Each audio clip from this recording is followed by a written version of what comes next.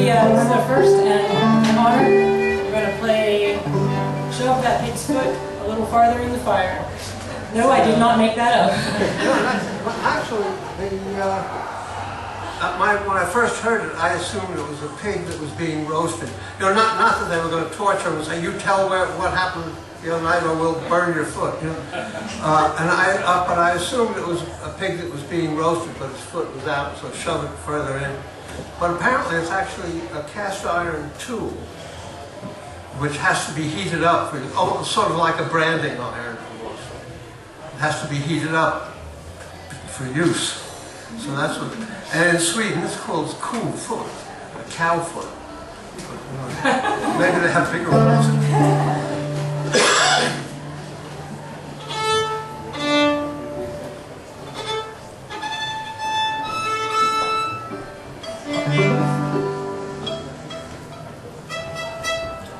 Uh, shove the pig's foot a in the. What about You started. time?